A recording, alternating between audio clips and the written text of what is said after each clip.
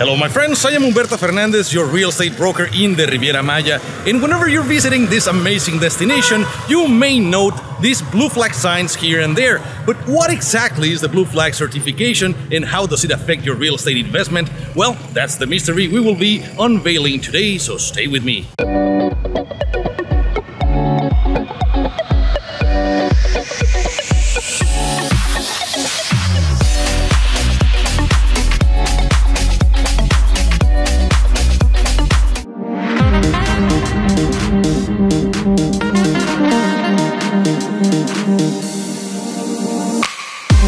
And so the Blue Flag certification is granted by the Foundation for Environmental Education, founded in Denmark in 1981, and nowadays one of the biggest and most important ONGs for environmental education in the world. And with over 40 years of experience, the FEE has a new strategic plan called Gaia 2030 that prioritizes climate action with five programs aimed to address the urgent environmental threats of climate change, biodiversity loss, and environmental pollution.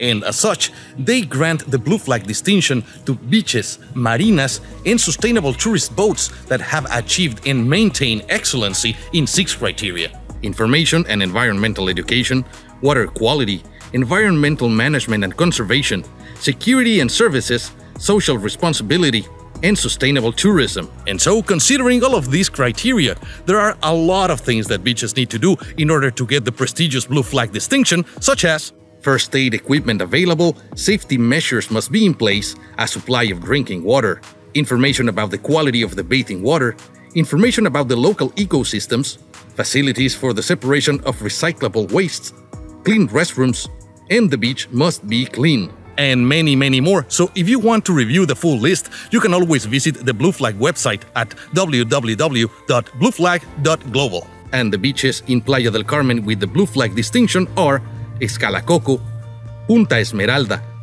Playa 88, Playa 72, Playa Cisne y Playa Pelícanos. And from a real estate perspective, being close to a blue flag beach, just like this development right there, will offer you and your guests an extra layer of comfort and security. So whenever you decide to pay a visit to the beautiful beaches of the Mexican Caribbean, you will know that you will have all the services to spend unforgettable moments. So don't forget to visit these nice spots whenever you come to Playa del Carmen and let me know what you think in the comments.